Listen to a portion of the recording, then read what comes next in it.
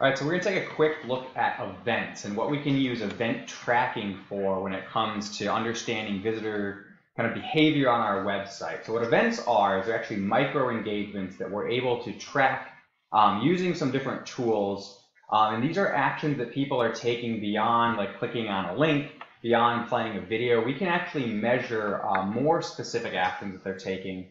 And a really good example of that is like these clicks on a tab. So in our blog sidebar here, we have these different tabs and you can set up an event to say every time someone clicks on one of these let's capture it because maybe that's a useful thing to measure maybe it's not but that's why we're going to measure it and find out.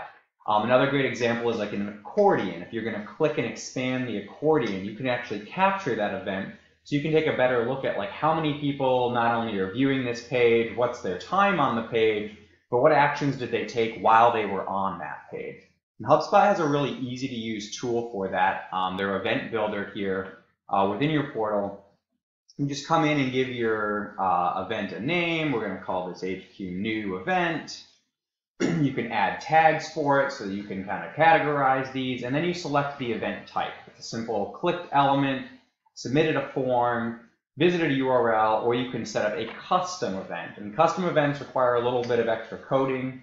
But then you can look at things like, did someone reach a certain point on the page when they're scrolling? Or um, did they uh, interact with a particular element in a certain way? But really cool stuff, getting at the heart of understanding what actions your visitors are taking on the page, understanding those actions, and then being able to put that data into action.